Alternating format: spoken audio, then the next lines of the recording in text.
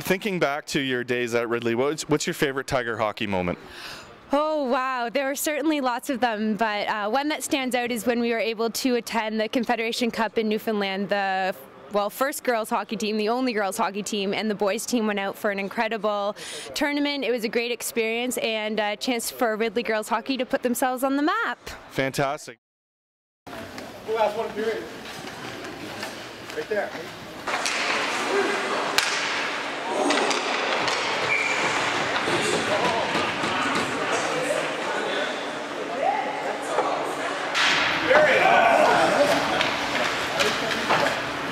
There's a Ridley goal for number eight. That's uh, Mark McGaw.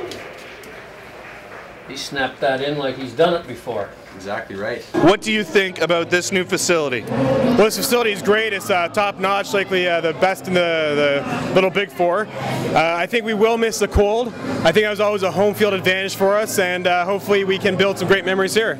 Please join me as we count down from five in our emotion, in our ceremonial attendance will simultaneously release the pucks. In five, four,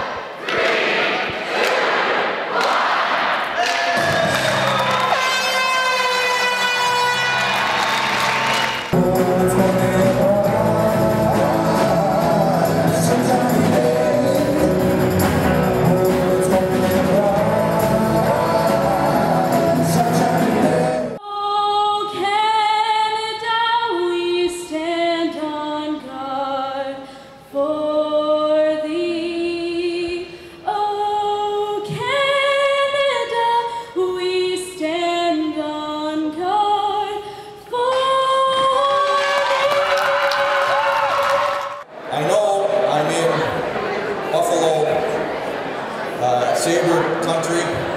And uh,